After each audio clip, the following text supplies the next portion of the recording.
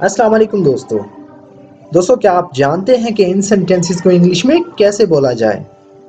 या क्या आपको पता है कि इन सेंटेंसेस की इंग्लिश क्या होगी? तो आज की इस वीडियो के अंदर हम 50 ऐसे इंग्लिश फिक्रात की प्रैक्टिस करेंगे, जिन्हें हम अपनी डे टू डे लाइफ में बहुत ज़्यादा यूज़ करते हैं। तो फ्रेंड्स अगर आपने हमारे इस चैनल को अभी तक सब्सक्राइब नहीं किया तो अभी चैनल को सब्सक्राइब कर लें और साथ में लगे बेल आइकन को ज़रूर प्रेस कर लें। ताकि हमारी आने वाली इस तरह की वीडियो का नोटिफिकेशन सबसे पहले आप तक पहुँच सके। तो दोस्तों, बिना टाइम वेस्ट किए शुरू करते हैं अपनी आज की वीडियो। दोस्तों, आप सेंटेंस की प्रैक्टिस मेरे साथ साथ कर सकते हैं। यही तो मैं पूछ रहा हूँ। That's exactly I am asking that's exactly I am asking क्या तुमने उन्हें हमारे कारोबार के बारे में नहीं बताया? Didn't you tell them about our business? Did not you tell them about our business? आपसे अच्छा कोई नहीं है No one is better than you. No one is better than you. आपका एक जूता कहाँ खो गया Where have you lost your one shoe? Where have you lost your one shoe? मैं चुप हूँ। इसका मतलब ये नहीं कि मैं कुछ नहीं बोल सकता। Just because I am quite it doesn't mean I can not say anything just because I am quite doesn't mean I can't say anything लगता तो ऐसा ही है। Seems like that seems like that ये आपने जानबूझकर किया। You did it deliberately you did it deliberately क्या आप बच्चों को खाने के लिए अंदर बुला दोगे? Will you call the kids in for lunch will you call the kids in for lunch आप अपना खाना जल्दी खत्म करो। Finish your food quickly finish your food quickly मैं इम्तिहान में पास हो गया। I have pass the examination I have pass the examination वो ज़्यादा भाव खाया करता था।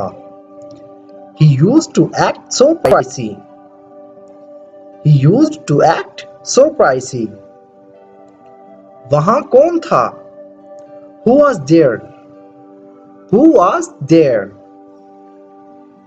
उसे यहाँ से बाहर निकालो। Get him out of here get him out of here उस दिन मुझे किसने मारा? Who best me that day who best me that day मैं रोज़ाना इंग्लिश सीखने की कोशिश करता हूँ। I try to learn English every day I try to learn English every day मैं किसके बारे में सोचता हूँ? Whom do I think about? Whom do I think about इसलिए मैंने उसे कस के थप्पड़ मारा। So I gave her a tight slap so I gave her a tight slap बहुत कमाल। एक्सीलेंट एक्सीलेंट आप मुझे हिम्मत दे रहे हो या डरा रहे हो? Are you encouraging me or scaring me are you encouraging me or scaring me वो बहादुरी से लड़ा he fought with brave he fought with brave वो कल से क्रिकेट की प्रैक्टिस कर रहा होगा he will be practising cricket from tomorrow He will be practicing cricket from tomorrow. मेरे दाएँ हाथ में खारिश हो रही है। My right hand is itching my right hand is itching वो क्या कर रहा है? What is he doing what is he doing तुम तो कह रहे थे, मैं पहुँचने वाला हूँ। You are saying I was about to arrive you are saying I was about to reach. क्या ये ट्रेन कराची जाएगी?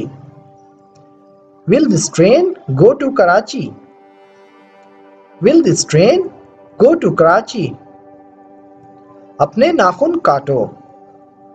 Trim your nails trim your nails रोज़ाना सारी मशीनों को साफ़ किया जाना चाहिए।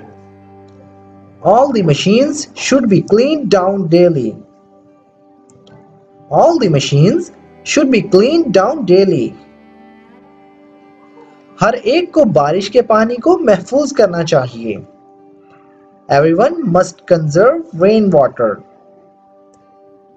everyone must conserve rain water मैं आपके साथ हूँ। I am with you I am with you ध्यान से सुनो, वरना तुम सब बर्बाद कर दोगे। Listen carefully or you will ruin everything listen carefully or you will ruin everything मैं उन्हें समझा समझा कर थक चुका हूँ।